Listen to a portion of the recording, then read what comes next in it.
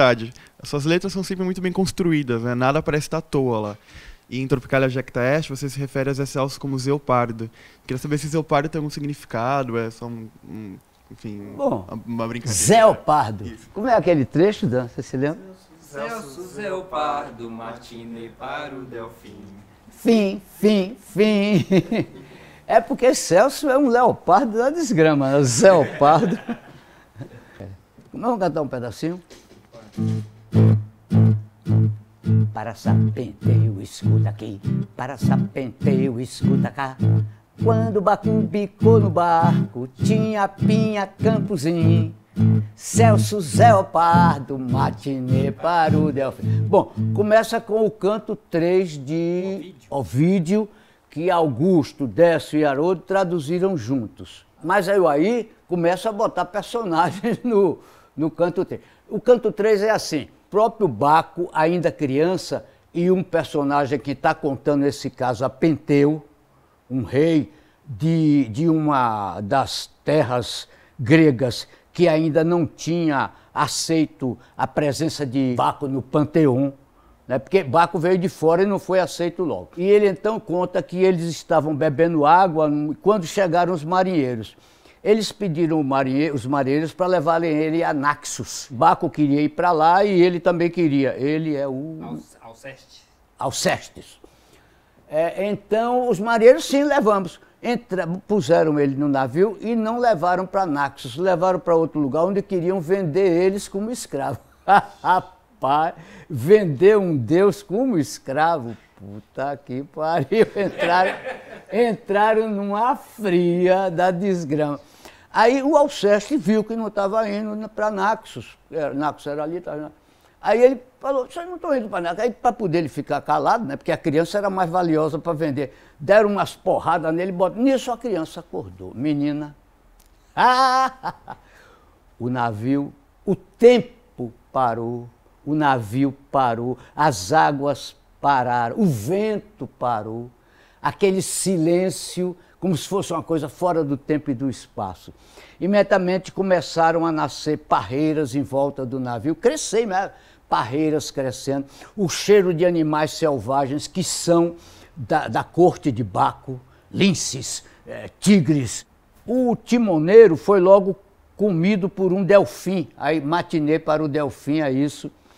E eu, eu acrescento que entraram no barcos Décio, Augusto, Haroldo e tal. É, para Penteu. E isso ele contando a Penteu, né? Para querer convencer a Penteu a passar para o lado de Baco. Para Penteu, escuta cá. Para Penteu, escuta aqui.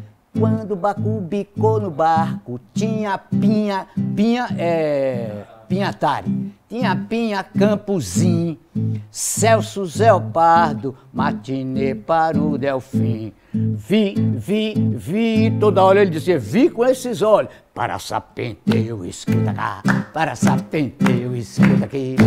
Quando a ficou no barco, tinha Pinha Campozinho, Celso Zeopardo, Matinê para o Delfim. Aí o arranjo vai se modificando, e agora?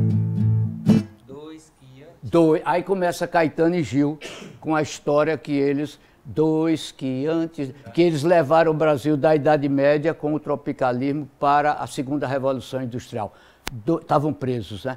Dois que antes da cela da ditadura levaram levaram a vela, deram, deram a vela para nossa aventura.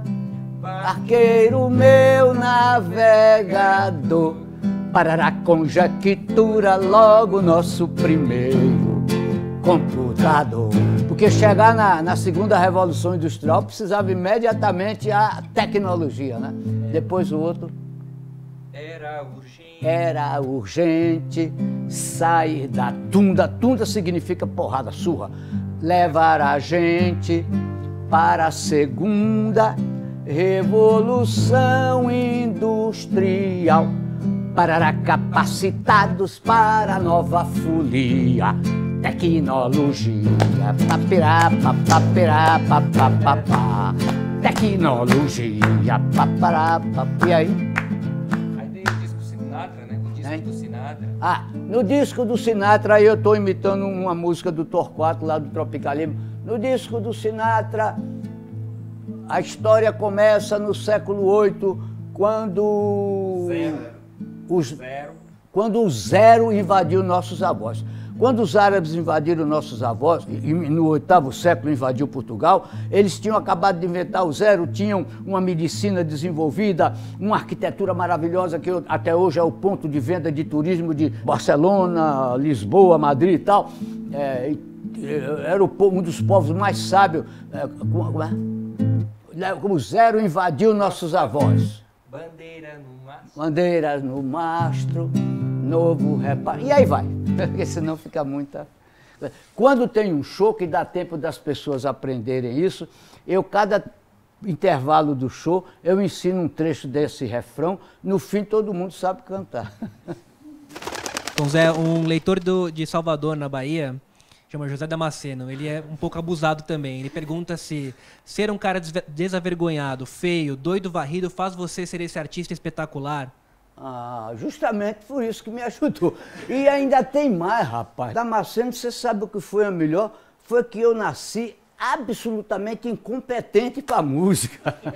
Além de feio, desarrumado, voz de taquara rachada, como diz Júlio Medalha. Ainda nasci.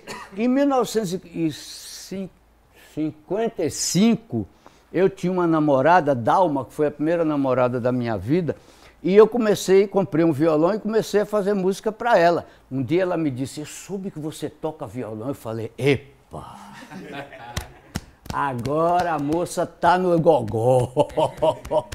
Aí peguei o violão, fui direto para casa de uma amiga nossa, né? Que eu não ia nem na casa do pai dela, porque naquele tempo eu não tinha condição de ir na casa do pai de moça nenhuma. E aí peguei o violão e tal, e não saía uma, uma nota. E aí começava a teorizar. Teorizar todo mundo sabe, né? Cantar que é bom, ninguém canta. Ah, porque essa daqui eu fiz por causa de não sei o quê, por causa de não sei o quê. Lá, não saía. Passei a tarde toda, não cantei uma nota. Foi um fracasso total. E a moça não deu de salvadora. Sabe como é de salvadora? Não, não se preocupe, não. Tô esperando. quieta e calada. Eu, no silêncio, via ela dizer assim: Vala minha Nossa Senhora, o que foi que eu fui fazer com essa pobre criatura? Olha o desespero que ele está. Olha o desespero que ele está. Eu, até eu já estou querendo sair. E eu ouvindo ela dizer tudo isso, ela não estava dizendo nada. Pô, quando eu saí com o violão da porta daquela casa, só não joguei na rua porque fazia feio. Falei, nunca mais estudo uma porcaria dessa, nunca mais faço música. E nunca mais fiz uma música. Uma música nos termos que naquele tempo se fazia. Comecei a fazer reportagens sobre o que acontecia na rua. Por exemplo, o prefeito prometia calçar a rua. Chegava o Natal, a rua não estava calçada. E eu fazia.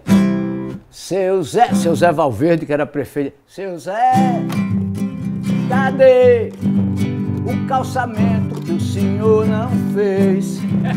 Será que sai ou vai ficar enrolado outra vez, seu Zé? Pronto, fazer, passei a fazer reportagem. Aí quando eu cantava, tinha uma, uma estrutura, tinha uma estratégia nessa coisa. A pessoa que o via não ficava esperando que eu fosse cantor. E quando eu jogava na cara dele pessoas que ele conhecia, situações que ele conhecia, eu fazia ele grudar na história. No princípio foi isso. E depois isso foi encontrando diversas maneiras de ser feita novamente em outras situações, situações, e eu nunca mais fiz uma música, só fiz isso. Por isso que chama jornalismo cantado.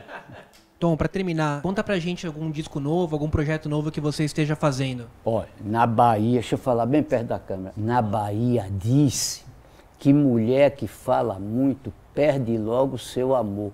E eu sou mais mulher do que homem. é, tenho mais.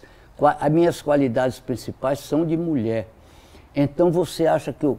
Eu não. Mesmo porque quando você conta, você enfraquece. Se você conta um projeto, você acaba não fazendo ele. Você conta, ele anda, desanda. A Nara, a própria Nara Leão cantava uma música que dizia isso: Mulher que fala muito perde logo o seu amor. Eu não, não posso falar, não é uma coisa de dizer é segredo. Não é segredo porra nenhuma. Eu- se Então- fosse segredo, quando saísse era uma confusão no mundo. Não é. Última música. Oh. Ah, vamos cantar?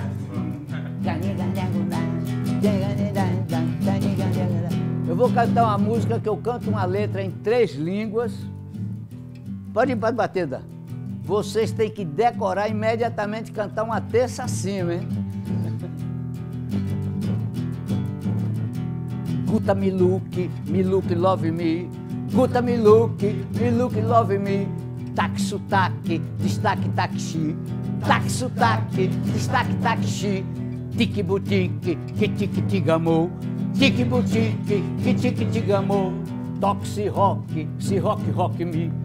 Se rock, se rock rock me. La la la la la la la la. La la la la la la la la. Le le le le le le. Le le le le le le le le. Na na na na. Bob dica diga. Jimmy renda assim. Cai cigano, cai Camone Boy. Já rangiu Century Fox, Mia, Cigarette, Billy Harry Holyfield. Viu como eu falei de tudo quanto é amigo meu? Bob Dica Diga, Jimmy Renda-se, cai cigano, cai gitano, cai Camone Boy. Já rangiu, Gil, Gil, Century Fox, Galvin Mia, Cigarettes, Billy Harry Holyflex, Jane Chop, Chop, Chop, Chop. Ô Jane, Chop, Chop, Chop, Chop. Iehele, iehele, iehele, iehele. O dólar é moeda falsa. Dólar é moeda falsa. Americano já não segura as calças. Americano já não segura. as calças. Alemanha quase pedindo esmola. Alemanha quase pedindo esmola. A inglesa não usa mais calçola. A inglesa não usa mais calça. Na Itália não tem mais sutiã. Na Itália não tem mais sutiã. Suíça não lava bunda de manhã. Suíça não lava bunda de manhã gabó, toda gabó. Eles vão tomar no fiofó, vão tomar no fiofó. Ô cabrobó, ô cabrobó. Eles vão tomar, tomar, tomar, tomar, mamá, mamá, mamá, mamá, mamá, mamá, mamá. No fio.